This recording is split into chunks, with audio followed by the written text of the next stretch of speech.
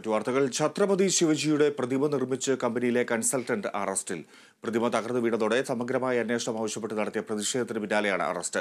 പ്രതിമയുടെ സ്ട്രക്ചറിൽ കൺസൾട്ടന്റ് ചേതൻ പാട്ടീലിനെ വ്യാഴാഴ്ച രാത്രി കോലാപൂർ പോലീസ് അറസ്റ്റ് ചെയ്തിരുന്നു. പ്രതിമയുടെ ശില്പി ജയദീപിനായുള്ള തെരച്ചിൽ പോലീസ് തുടരുകയാണ്.